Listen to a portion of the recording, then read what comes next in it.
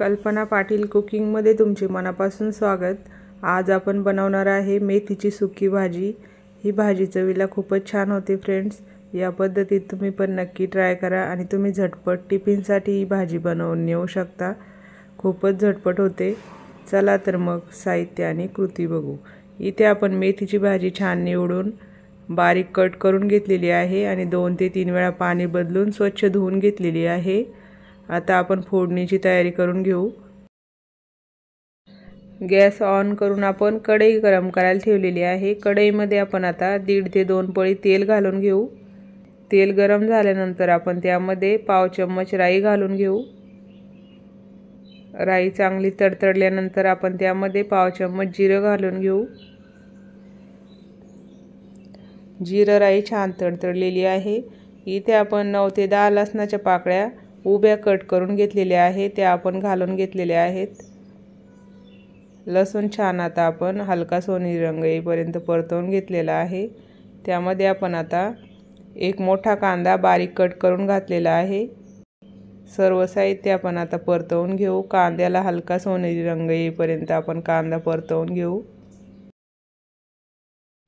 कांदा पण आपण हलका सोनेरी रंग येईपर्यंत परतवून घेतलेला आहे. आता आपण त्यामध्ये पाव चम्मच हळद घालून घेतलेली आहे.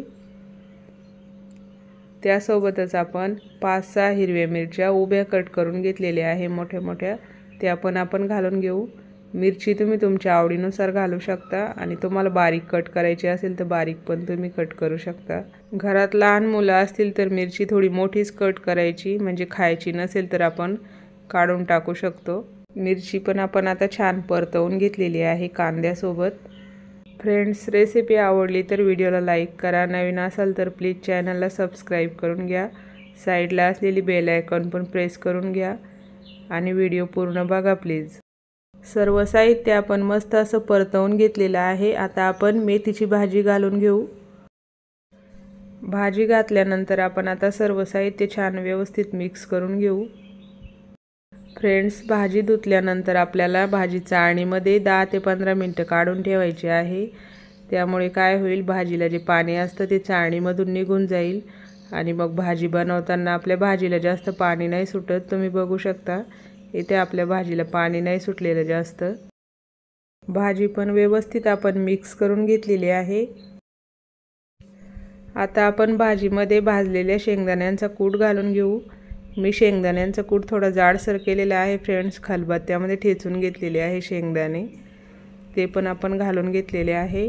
तुम्हाला बारीक करायचं असेल तर बारीक पण तुम्ही शेंगदाण्याचं कूट करू शकता. आणि शेंगदाण्याच्या कुटाऐवजी तुम्ही ओलं खोबरं पण घालू शकता किसलेलं. मिक्स करून घेऊ आपण आता भाजी मस्त अशी. भाजी मिक्स केल्यानंतर आपण भाजीवर झाकण ठेवून भाजी शिजवून घेऊ. भाजी शिजवताना आपल्याला गॅसची फ्लेम लो किंवा मीडियम ठेवायची आहे फ्रेंड्स. तुम्ही बघू शकता पाच सहा मिनटानंतर आपण झाकण काढून घेतलेलं आहे. तुम्ही बघू शकता भाजी छान अशी शिजलेली आहे. आता आपण भाजीमध्ये चवीनुसार मीठ घालून घेऊ. मीठ आपण शेवटीच घालून घेऊ. नाहीतर अगोदर घातलं असतं तर भाजीला खूपच पाणी पण सुटतं आणि मिठाचा अंदाज पण येत नाही. त्यामुळे मीठ आपण शेवटी घातलेलं आहे. मिक्स करून घेऊ आपण आता मीठ घातल्यानंतर. भाजी आपण मिक्स केलेली आहे. आता आपण भाजीवर एखाद्या मिनटासाठी झाकण ठेवून घेऊ. आता आपण झाकण काढून घेऊ. तुम्ही बघू शकता मस्त अशी आपली मेथीची भाजी तयार झालेली आहे. या पद्धतीत तुम्ही पण नक्की ट्राय करा फ्रेंड्स. खूपच छान होते ही भाजी आणि झटपट होते. तुम्ही टिफिनसाठी बनवून नेऊ शकता. एकदम मस्त अशी सुकी मेथीची भाजी आपली तयार झालेली आहे. रेसिपी आवडली तर व्हिडिओला लाईक शेअर आणि चॅनलला सबस्क्राईब करायला विसरू नका फ्रेंड्स व्हिडिओ पूर्ण बघितल्याबद्दल तुमचे मनापासून धन्यवाद फ्रेंड्स चला तर मग भेटू पुढच्या रेसिपीमध्ये